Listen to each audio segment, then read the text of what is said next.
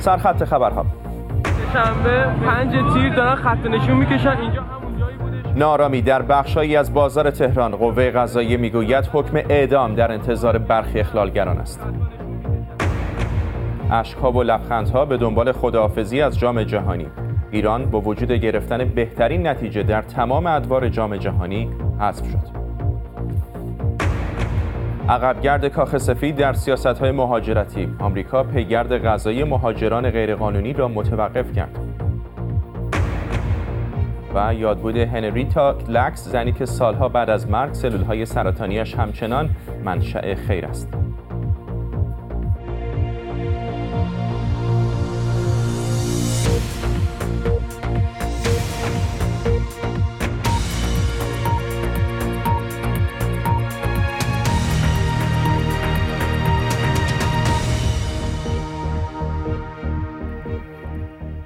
سلام و وقت بخیر خوش آمدید. گزارش از ایران حاکیست اعتصاب ها در گوشه و کنار این کشور به صورت پراکنده ادامه داشته. در تهران برای روز دوم بخشایی از بازار همچنان بسته. مقام های غذایی کشور گفتند تعداد زیادی از کسانی را که آنها را اخلالگر خواندند دستگیر کردند. رئیس قوه قضایی ایران هم هشدار داده است که حکم اعدام در انتظار بعضی از اخلالگران در نظام اقتصادی است. حسن روحانی رئیس جمهوری ایران هم خواستار سختگیری دستگاه غذایی با تظاهر کنندگان شده. کسرا ناجی در گزارشش می‌گوید مقامات ایران می‌گویند آمریکا به نارضایتی های عمومی دامن می‌زند. برای روز دوم از تهران و بعضی از شهرها خبر از نارامی ها و ادامه اعتصاب بازاریان و کسبه می‌رسد. این در لاله‌زار تهران. اینجا همون جایی بودش که قبلا دست ما بودش الان اومدن گرفتن خط و نشون می‌کشن. باتوناشونو میدن بالا. خیابون لالزا. اون قسمت رو گرفتن. وقتی حمله می‌کنن تمام موتورا رو میشکنن به ماشینا هم ضربه می‌زنن. این که میگن خسارت و مردم می‌زنن خودشون می‌زنن. الان موتورا رو همه رو زدن شیکوندن یک دفعه می‌دونن الان خب یکی همون وسط وایساده داره از ما فیلم می‌گیره. در بعضی از شهرهای دیگر هم گزارش از اعتصاب بازاریان می‌رسد. این بازار کرمانشاه امروز. نارامی های این دو روزه مقام های کشور را تکان داده و وادار به واکنش های تند کرده است.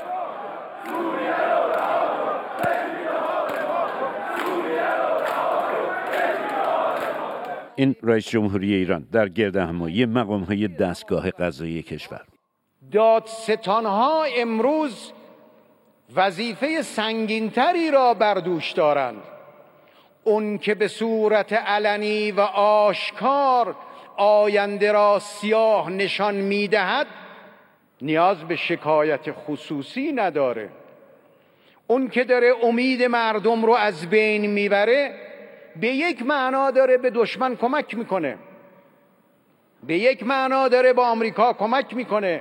رئیس جمهوری ایران در روزهای اخیر زیر انتقادهای زیاد بوده. به علت عملکرد اقتصادی دولتش و به خصوص سقوط دائم و روزانه ارزش ریال ما ممکنه فشارهایی و مشکلاتی رو داشته باشیم. ما از مشکلات عبور خواهیم کرد. به حول و قوه الهی با کمترین هزینه با کمترین خسارت. اما نیازمند به این هستیم که همه ما با آینده امیدوار باشیم. ظاهرا دستگاه قضایی هم راه حل مشکلات رو در بگیر و ببندها و اعدام می‌داند. دادستان تهران گفت از تعداد زیادی از به قول او عاملان آشوب دیروز بازار تهران دستگیر شدند. و رئیس قوه قضایی هم اینجا هشدار داد که به قول او اخلالگران در بازار باید منتظر اعدام باشند. من اینجا در هشدار میدم به این اخلالگران نظام اقتصادی. خوب گوش کنید. پنبه هم از گوش بیرون بیارید چشمارم خوب باز کنید. این کارها به عنوان اخلال در نظام اقتصادی کشور تحت قانون اخلال در نظام اقتصادی کشور مجازات های بسیار سنگینی داره. در اونجا دیده شده که اگر این کار مصداق افساد فل ارز باشه اعدام و اگر غیر از این باشه تا 20 سال حبس و تمام اموادی که از این باب بیاد مصادره میشه. قبلا همین چند ماه پیش رهبران کشور از حق مردم برای اعتراض سخن به میان آورده بودن چیزی که حالا فراموش شده. این در تهران امروز. سرکوب و دستگیری و خط و نشان کشیدن و تهدید. برای دولت مردان ایران راه حل مشکلات امروز. کسرانچی بی بی سی. همطور که در گزارش کسرا هم دیدید بیشتر تصاویری که کسرا استفاده کرده بود از شبکه های اجتماعی آمده بود. کسی که خیلی دنبال کرده از نزدیک اینجا با من هست. فرین تقیزاده همکارم. چه چیز بیشتری مردم دارن میگن؟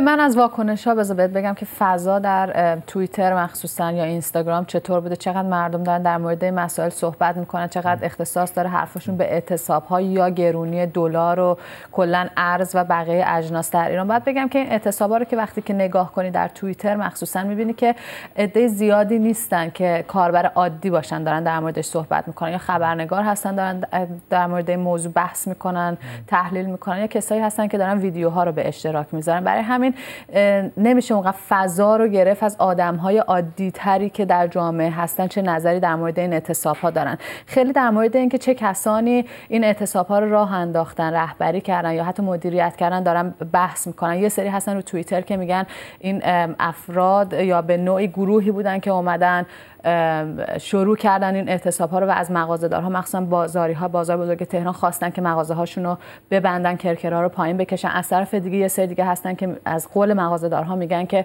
نه مغازه‌دارها توانایی ادامه فروش رو نداشتن. اگر جنسشون مثلا در مغازه فروخته بشه دیگه نمی‌تونن جایگزین کنن. دلار رفته بالا نمی‌تونن به همون قیمت قبلی برن خریداری کنن و به مشتری ارائه بدن. برای همین خودشون همراه شدن با اعتصاب ها و اومدن مغازه ها رو بستن. یه سری از خبرنگارهای اصلاح طلب هم هستن که با گروه اول همراه هستن و بیشتر عقیده دارن که این یک جریان سازماندهی شده هست و مغازه‌دارها در بازار بزرگ از ترسشون کرکره ها رو به نوعی پایین کشیدن. برای همین چون بحث دو طرفه شده این همچین نظرهای وجود داره فقط می‌بینیم که یه سری شاهد ماجرا هستن و فقط به اینکه ویدیوها رو دست به دست کنن دارن اکتفا می‌کنن. روی اینستاگرام که من نگاه کردم خب فضای کمی عادی تر هست یا کمی مردم عادی تر توش حضور دارن.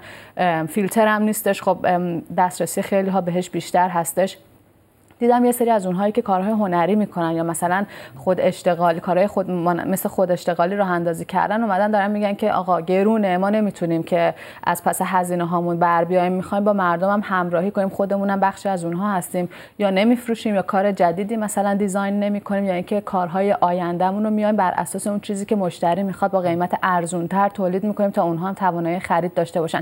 به نوعی می‌بینیم که تو اینستاگرام اینها دارن همراهی می‌کنن با وضعیت گرونی نابس سامان دلار و ارزی که در جامعه به وجود اومده. صحبت های امروز آقای نوبخت که در جمع خبرنگاران هم بوده خیلی واکنش برانگیز بوده. آقای نوبخت گفته که ایرانی هایی که در خارج کشور هستن ارزشون رو به داخل بیارن و مردم هم که ارز و طلای طلایی دارن بیارن اینها رو بدن به بازار تا اینکه دولت بتونه تقویت کنه. پول ملی رو هیچ کاری هم از دولت بدون حمایت ملت بر نمیاد. یعنی ما خواستار این هستیم که مردم به ما کمک کنن. این رو در توییتر خیلی ها دست گرفتن و گفتن که چطور انتظار دارن که وضعیت بازار و مخصوصا این ارز و دلار رو مردم بخوان کنترلش کنن. از طرف دیگه هستن اونهایی که دارن میگن که مردم دولت و آقای نوبخت رو مسخره نکنیم به نوعی. مثلا اسنو سابق اومده در توییتی گفته که باید بگم که به این دسته که مسخره می‌کنن و میگن که وظیفه دولت کنترل کنه خیلی چیزا دست ما مردمه این شاید قدمی باشه که به حاکمیت گوشزد کنیم که مردم نقش اصلی رو دارن. چیزی که دهه هاست فراموش شده. هشتگ هم که هشتگ دلار و سکه و ارز هستش. در مورد فیلم هایی که ما می‌گیریم از لالزار بازار عباس آباد بازار بزرگ تهران راسته طلا فروشان ما ویدیوهایی دریافت کردیم که توی گزارش کسرا هم دیدیم که بسته هست در حال اعتصاب هستن. اگر از این مغازه دارها کسی هستش که هنوز صحبتی داره که بگه چون در شبکه های اجتماعی اونقدر ما حرف مغازه دارها رو نمی‌بینیم که عنوان شده باشه. ما روی تلگرام یه فراخوان دادیم که به ما پیام بدن. حتی اگه نمی‌خوان صداشون رو بفرستن می‌تونن تکست به ما بدن بنویسن فقط. بنویسن که چرا به جمع این اعتصاب ها پیوستن چرا مغازه هاشون بسته است و چی فکر می‌کنن در مورد اینکه آیا این اعتصاب ها اصلا نتیجه بخش هست یا نه به ات بی بی شما روی تلگرام برای ما بفرستن. ممنونم از فنان تقیزاده با توضیح مفصل از آنچه که بینندگان و مخاطبان بی بی سی فارسی در شبکه های اجتماعی گفتند علیرضا نامور حقیقی تحلیلگر مسائل سیاسی ایران از تورنتو کانادا. با مساق نامور حقیقی. از واکنش‌هایی که میشنویم چه از قوه قضاییه چه از دولت به نظر میاد نگران هستند آقایان. هر حال با توجه به اینکه تجربه د 96 وجود داره به نابسامانی اقتصادی شورش های اقتصادی و واکنش های سیاسی نسبت به اقدامات دولت می‌تونه دوباره تاثیر منفی بذاره در موقعیت اقتصادی کمک کنه به خروج سرمایه و در نتیجه دولت طبیعتا باید نگران باشه. ولی واقعیت این است که بخشی از این مسائلی که پیش اومده جدا از اینکه نهادهای حکومتی مثل اطلاعات موازی نقش منفی داشتن در مسیر بازسازی اقتصادی بعد از برجام اما دولت خودش بیشترین نقش داشته در این ناکارآمدی. به خاطر اینکه بعد از انتخابات 96 دولت قرار بود که یک کابینه منسجم با افرادی کاردان بده دست آقای جانگیری ستاد فرماندهی در مورد اقتصاد داشته باشه. آقای روحانی امتناع کرد از این امر. کابینه بسیار ضعیفتر از دوره قبل چید در حوزه اقتصادی فاقد دکترین اقتصادی بدون هماهنگی و سیاست هایی مثل کاهش نرخ بهره بدون اینکه بدونن بعدش می‌خوان چیکار کنن. همه اینها سبب شده در وضعیت فعلی با این مشکلات مواجه بشه. مضافا بر اینکه افرادی مثل خود آقای نوبخت که و آقای واعظی در تنظیم مدیران بانک ها دخالت کردن مدیران بسیار نالایق گذاشتن که اونها هم بانک ها هم در این فضا بسیار نقش منفی داشتن نتونستن سیاست های پولی رو اعمال کنن و آقای سیف و معاون بانک مرکزی که آقای عراقچی رو گذاشتن بدون که سابقه کار ارزی داشته باشه. در مجموع اگه دقت کرده باشید دولت فاقد دکترین هست. با اینکه ایران نزدیک به 110 میلیارد دلار ذخیره ارزی داره. شاید بشه گفت بیشترین ذخیره ارزی در طول تاریخ خودش داره اللحاظ عمل کرد اللحاظ اجرایی فاقد یک چشمانداز مشخص و همونجور که گفته شد آقای نوبخت میگه مردم پولاشون بیارن ولی هیچ وقت از نیروهای کارآمد مردم در مدیریت حاضر نشدن استفاده کنن. این وضعیتی است که باهاش مواجه شده. این افزایش نرخ ارز به نظر همچنان ادامه داره علیرغم حرفایی که آقای روحانی زده بود که نگران نباشید این حبابی هست و خواهد ترکید و نرخ ارز دوباره عادی خواهد شد. الان هستند کسانی از داخل ایران فعالان سیاسی که حرف از این می‌زنن که دولت ایران بیاد و با آمریکا مذاکره بکنه. در شرایط فعلی فکر می‌کنه اصلا چقدر چنین چیزی ممکن هست؟ و اگر ممکن باشه چقدر می‌تونه به حل مشکلات کمک کنه؟ ببینید در مورد همین ارزی که شما میگید در همون موقعی که می‌خواستن تعیین نرخ کنن اکثر فعالان اقتصادی کارشناسان اقتصادی معتقد بودن نرخ 4200 جواب نمیده. با دولت به نزدیک به همون نرخ 5200 من نرخ تعیین کنه و سیاست هایی رو که اعمال می‌کنه در حوزه ارزی نمی‌تونه با اعلام قاچاق ارز مشکل رو حل کنه. چیزی که الان بهش رسیدن بعد از 40 روز. طبیعتا در شرایط بحران فقدان نظم اقتصادی هر نوع مذاکره با آمریکا قطعا نتیجه مثبتی برای منافع ملی ایران نخواهد داشت. دولت اگه نتونه اجماع کنه تمام منابعش رو بسیج کنه. باید منابع حکومتی مثل ستاد اجرایی فرمان به خدمت بگیره یک هماهنگی جدید ایجاد کنه مشارکت مردمی رو بیشتر کنه. این نیازمند اینه که اطلاعات موازی محدود بشه فضای سیاسی مشارکت بیشتر بشه. اون موقع می‌تونه شما وارد مذاکره با آمریکا بشه در وضعیت فعلی قطعا خسارت بیشتری منافع ملی ایران خواهد ممنونم. علیرضا نامور حقیقی تحلیلگر مسائل سیاسی ایران از تورنتو کانادا با ما. در برنامه هشتگ شما امروز هم از تاثیر گرانی های اخیر بر زندگی شما و همینطور اعتراض های روزهای اخیر در بازار تهران و چند شهر دیگر می‌پرسیم. یکی از راههایی که الان روی صفحه تلویزیون می‌بینید می‌تونید با ما تماس بگیرید. می‌تونید نظر و شماره تلفنتون رو به پیامگیر ما در برنامه تلگرام هم بفرستید. شناسه ما در تلگرام هست BBC شما. هشتگ شما ساعت هفت و نیم شب به وقت ایران. راه تیم ملی فوتبال ایران در جام جهانی دیشب در سارانسک روسیه به پایان رسید. ایران با مساوی یک یک مقابل پرتغال قهرمان اروپا بهترین نتیجهش را در تاریخ جام جهانی گرفت اما از دور مسابقات حذف شد. پوریا جافری خبرنگار ما از سارانسک با ماست پوریا از فضای شهر بگو بعد از بازی.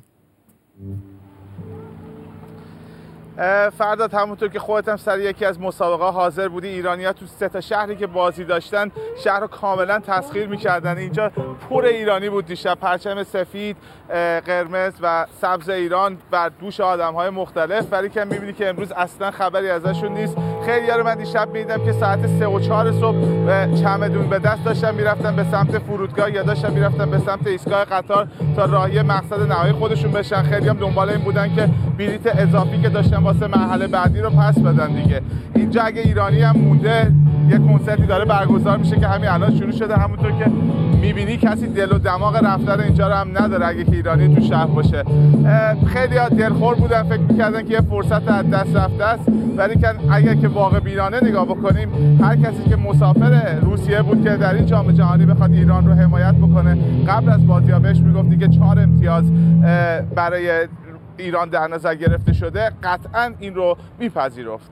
خیلی نگاه ها به کارلوس کیروش بود. چه می‌گفت او بعد از بازی؟ کیروش بعد از بازی خیلی هم مربی پرتغال خیلی بهش تبریک گفت هم به بازیکنها گفتش که افتخار می‌کنم. یه صحبت کوتاهی کرده اینو با هم دیگه گوش می‌کنیم تا برگردیم بیشتر راجع به کارلوس کیروش و آینده او در ایران صحبت بکنیم. این یک رقابت خیلی نزدیک بود. دقیقه به دقیقه و دوئل به دوئل. ما مقابل یکی از بهترین تیم‌های جهان بازی کردیم. با نظم و جنگندگی که در بازی نشون دادیم ایران باید برنده بازی می‌شد. اونها پاسهای بیشتری دادند و بازی رو کنترل کردند. این کاملا طبیعی بود. اما از نظر مدیریت بازی و جنگندگی حق ما برد بود.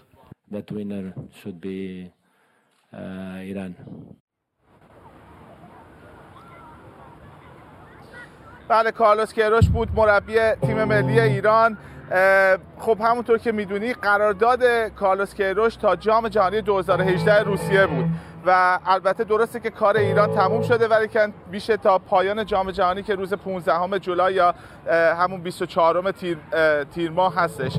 و بعد از اون الان اتفاقی افتاده ما خبر خیلی جدیدی داریم. اینی که فدراسیون فوتبال ایران به کارلوس کیروش یه پیشنهاد قرارداد 6 ماهه تمدید دادن تا جام ملت‌های امارات 2019 که در دی ماه برگزار میشه.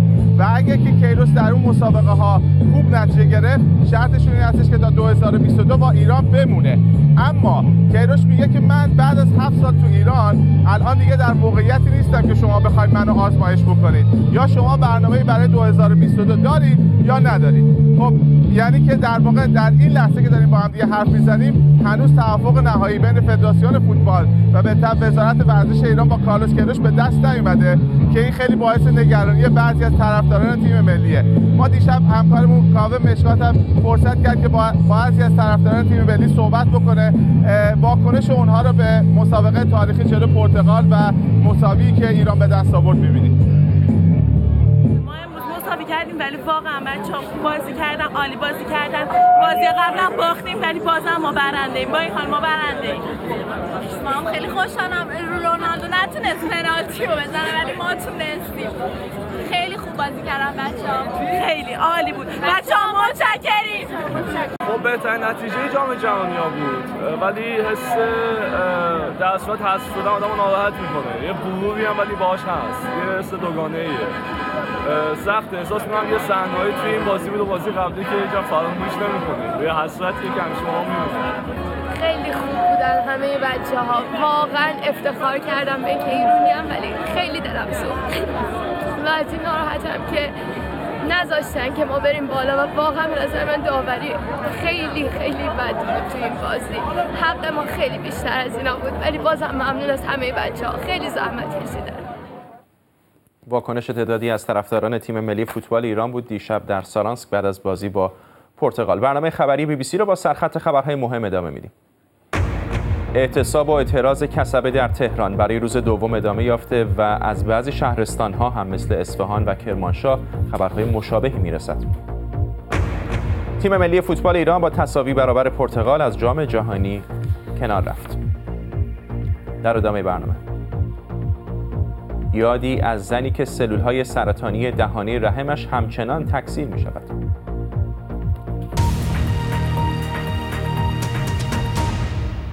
رامین سید امامی فرزند کاووس سید امامی در اینستاگرام خود نوشته که همزمان با بازی دیشب ایران پرتغال ماموران امنیتی به خانه آنها هجوم بردند. کاووس سید امامی فعال محیط و استاد دانشگاه امام جعفر صادق بود که در اوایل بهمن سال گذشته بازداشت شد و بعد از دو هفته بازداشت ماموران با خانواده او تماس گرفتند و اعلام کردند که آقای سید امامی در زندان خودکشی کرده. همکارم نیکی محجوب به موضوع با جزئیات بیشتری دنبال کرده دقیقا دیشب چه اتفاقی افتاده؟ حوالی عصر دیروز اینطور که گفته میشه به نقل از خانواده 20 نفر از ماموران امنیتی با تعدادی وانت که توی اونها جبه های بزرگی بوده که خان... به خاطر اینکه به خانواده اجازه ندادن ببینن چی هست وارد خونه اینها میشن. بعضیاشون میرن توی پارکینگ و زمین تعدادی میان بالا شروع می‌کنن به فیلم برداری. خانم منبینی مریم منبینی همسر مرحوم آقای سید مامی حالش بد میشه و از وکیلش می‌خواد که بیاد. آقای کی خسروی که اومده بر اساس اون چیزی که در مصاحبه ها گفته میگه که وقتی رسیده نامه ای رو که دیده نامه به امضای جعفری رسیده بوده و دولت آبادجو یعنی دادستان تهران رو در انتهای فامیلی نداشته. در اون طرف بخش دیگه نامه این بوده که قرار هست فیلمی ساخته بشه مستندی با نام حبود که باز آقای کیخسروی میگه انقدر طولانی بوده که فقط حبوتش یادش مونده.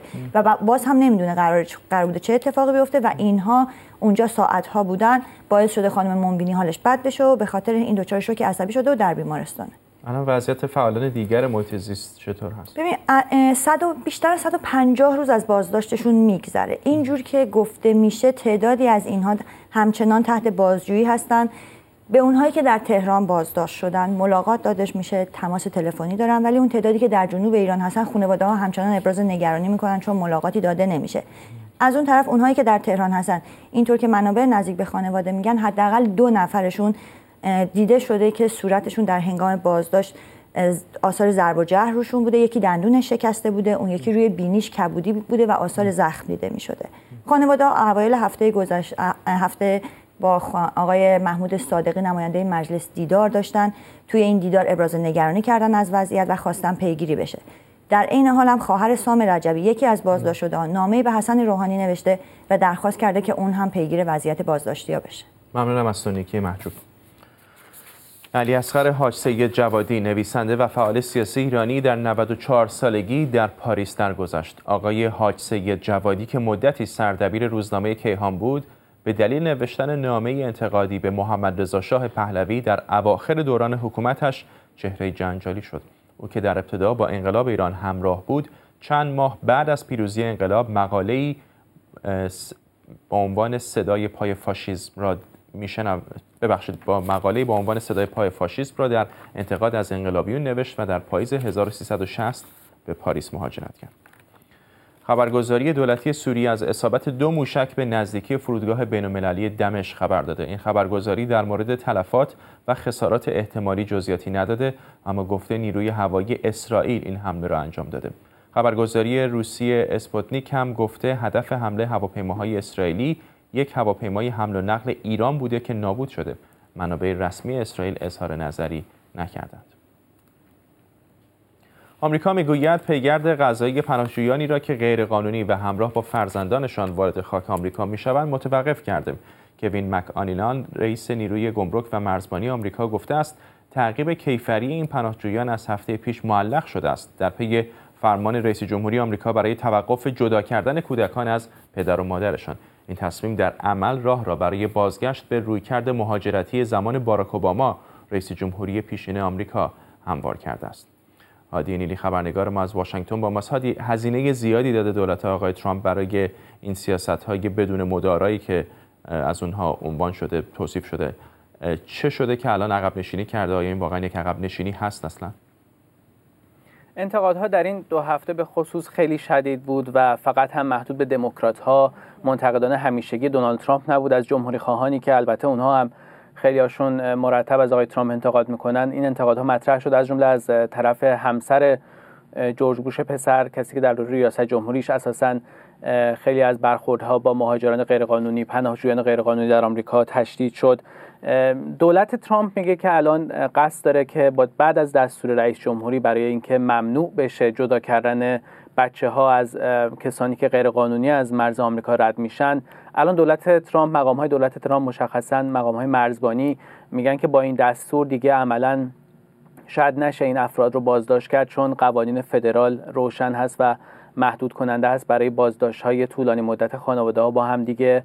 مقام های دولت ترامپ در این قبل از تا قبل از دستور رئیس جمهوری آمریکا استدلالشون این بود که اولا مشخص نیست این بچه که با مهاجران غیرقانونی از مرز آمریکا به طور غیرقانونی میگذرند فرزندان اونها باشن یا نسبت مستقیمی با اونها داشته باشن. دوم که اساسا طبق قوانین آمریکا نمیشه بچه ها رو با کسانی نگهداری کرد که از دید دولت آمریکا مجرم هستند و الان همچون دولت آمریکا داره کسانی که از مرز غیرقانونی میگذرند رو صرفا بابت همین عبور غیرقانونی پیگرد قضایی می‌کنه اونها رو مجرم می‌شناسه به طور در واقع بالقوه و از همین بابت خودش رو موظف می‌دونست که جدا بکنه. ولی با دستور رئیس جمهور بعد از انتقادها الان دیگه این جداسازی ها به گفته اونها متوقف شده. هرچند همین الانش بیش از دو هزار بچه جدا شدن از کسانی که از مرز غیرقانونی رد شدن و دولت گفته تا الان یک چهارمشون رو دوباره با پدر مادرشون یا کسانی که با اونها بودند به هم رسونده. بقیه رو تکلیفشون باید در آینده مشخص بشه.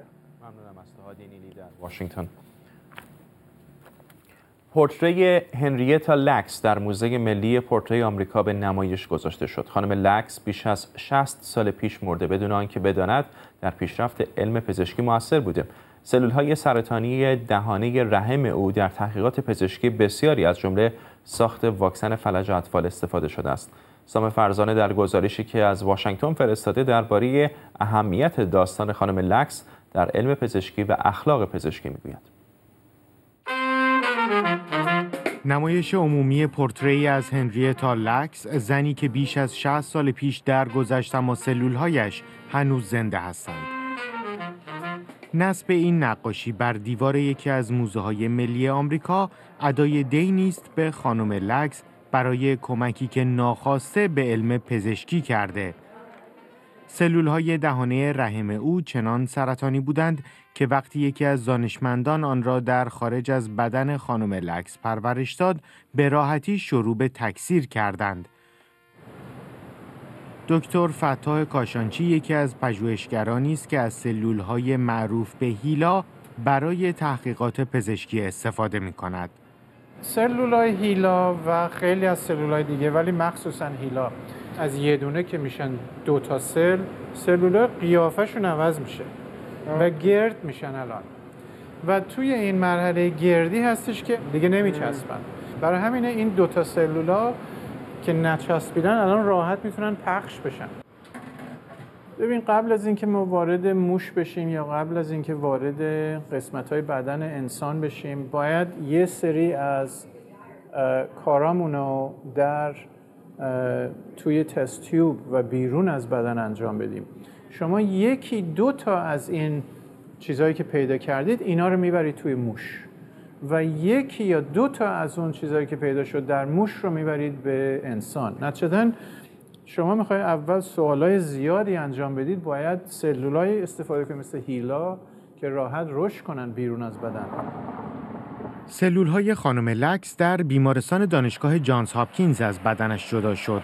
به جز این تابلو که به یاد او در این دانشگاه نصب شده، جانز هاپکینز هر سال بورسیه‌ای برای دانشجویان به نام هنریتا لکس دارد. بورسیه و این تابلو برای زنده نگه داشتن نام زنی است که بعد از مرگش سلولهایش هنوز به زندگی ادامه می دهند. سام فرزانه بی بی سی در واشنگتن نسخه بلندتر این گزارش رو امشب در برنامه 60 دقیقه می‌تونید ببینید طرفداران تیم ملی ایران دیشب شب پرهیجانی را پشت سر گذاشتند شبی که اگرچه تیم ملی ایران جام جهانی را ترک کرد اما خیلی از طرفدارانش از بازی تیمشان راضی و خوشحال بودند این بخش خبری رو با تصاویری از واکنش های تماشاگران ایرانی به پایان می‌بریم ایران! ایران!